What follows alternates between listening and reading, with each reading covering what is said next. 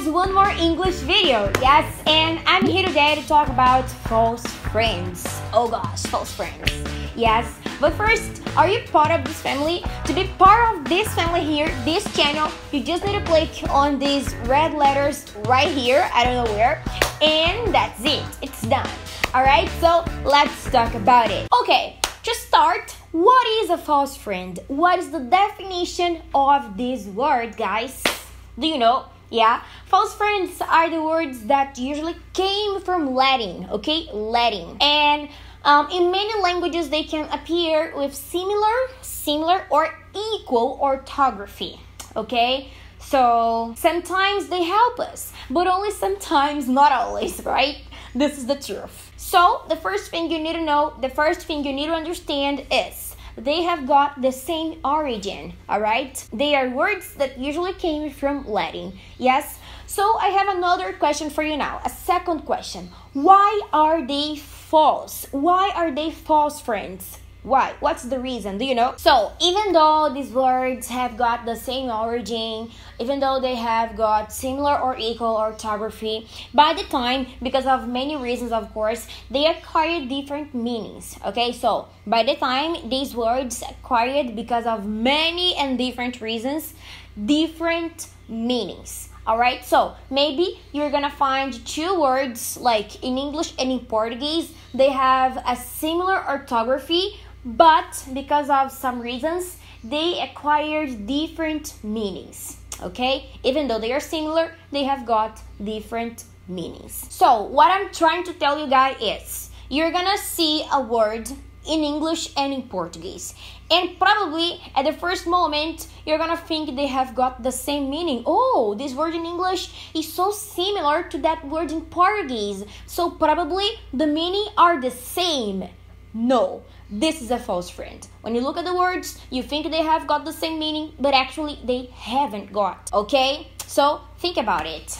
And it's important to say that the beginner students, the beginner English students, don't need to worry about this difference because probably if you worry about it, you're gonna freeze at the moment of the speech. Oh my gosh, what is chocolate?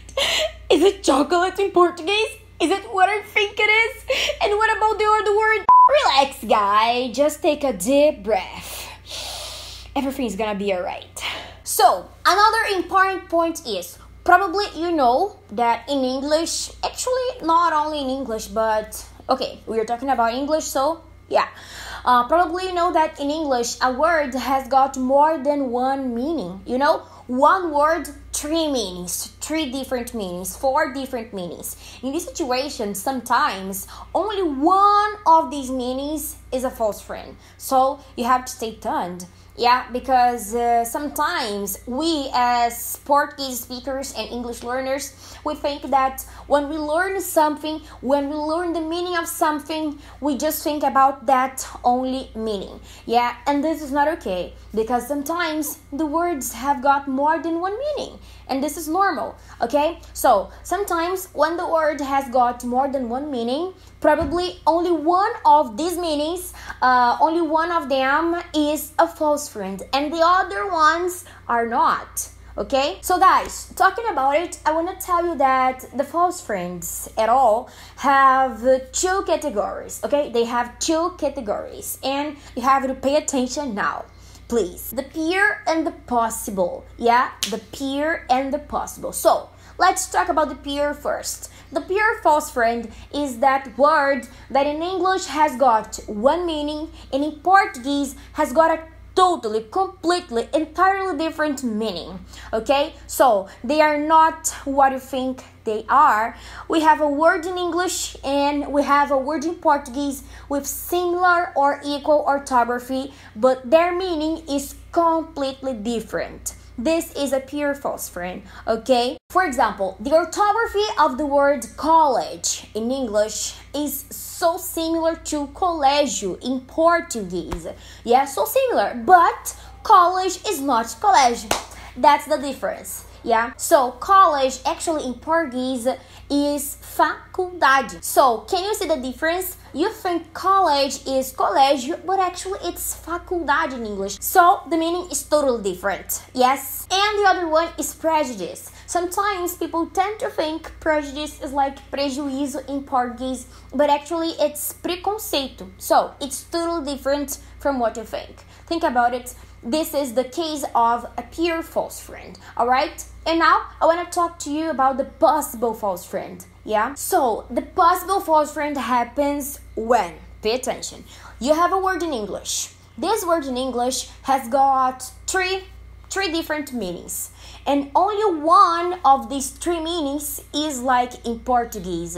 For example, the word aspect in English. Aspect in English is like aspecto in Portuguese. In this case, the orthography is similar. Aspect and aspecto in Portuguese. Aspect in English, aspecto in Portuguese, they are similar. Yeah? Yes, they are. So, okay, this is a possible false friend because uh, the meaning of aspect in Portuguese is aspecto, but that is also other meaning like face or lado in Portuguese. So we have the word aspect in English and three different meanings in Portuguese. Alright, so only one of the three different meanings is like one of the meanings in English aspect and aspecto, aspect, lado, face. So, this is a case of a possible false friend. Alright? Let me try to tell you the same thing but using different words. I'm trying to tell you guys that a possible false friend is when you have a word in English that is similar to Portuguese and the meaning is really the same, but you have other meanings that aren't the same. Got it? Another great example to make you understand is medicine. Medicine in English is like medicina in Portuguese, it's similar. And it's really the meaning of medicine. Medicina, yes, it's really the meaning of medicine. But not only medicina, medicine in Portuguese is also remédio. So can you see? Medicine is similar to medicina, but medicine is totally different from remédio. Yes, so in this situation, this is a case of a possible false friend because we have a word in English with two different meanings in Portuguese. Yes? So guys, caution, caution to avoid some situations like when you try to open the door, you try to pushar the door just because it's written push on it, you know? But you know, push is not pushar, but then you try, you try, and you try, so don't do it. You need to understand that push is a false friend. Oh gosh. yeah, so try to avoid this kind of situation, yes? So guys, you need to stay tuned and for sure it's not possible to learn all the false friends quickly, you know? So, my tip for you now is follow my Instagram because I share English tips over there. This is my Instagram. Yeah, you can check the English tips I give you there, the free English tips. Yeah, it's important to say. And over there, you can learn some false friends with me. Yeah, and of course, trying to decorate all the possible false friends, uh, it's not okay for your English. It does not work actually. Alright, so you have to learn them naturally. Naturally. Okay? So don't forget to give me a thumbs up in case this video was helpful for you and subscribe to my channel. Please don't go away. Do it. Subscribe to my channel and there are other videos here for you to watch. So guys thank you so much for watching. Yes see you on the next video or on my social network. Bye